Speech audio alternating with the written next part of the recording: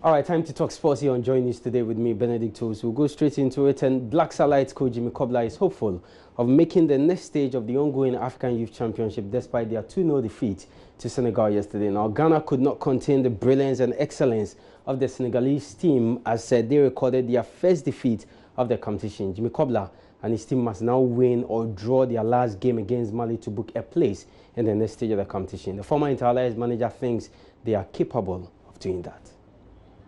I don't know where they're coming from, seeing Mali as their second favorite, but that is their choice. Uh, we will go in very strongly.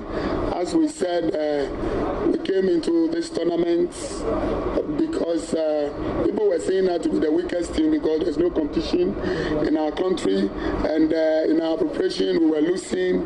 But I want to uh, uh, say that we will never go out without uh, a, a, medal. We are sure of qualifying to the World Cup on the day when we meet Mali. Well, away from the Black Satellite, Heartful coach Kim Grant says he's been impressed with the work done so far at the club. Now, the uh, club have made new additions in every department and clearly have noted their readiness to participate well in every competition. Coach Grant is thrilled with work done on the team.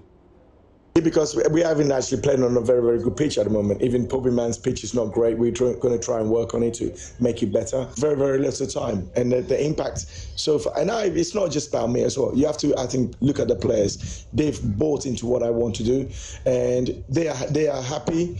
And you know, my, my training sessions are not easy, and you have to have that character, the attitude, the mindset to want to win. And I want winners in my team, and both on and off the field, and players, including my staff. And uh, and I'm really, really pleased, and I'm proud of the boys today because uh, it's not easy just to travel as well, four or five hours, come and play straight up. Because we didn't stay overnight, we came the same day. You know, we left six o'clock in the morning. So it's there's lots and lots of characters now, and I think most important, actually, the players are starting to believe that they are good players.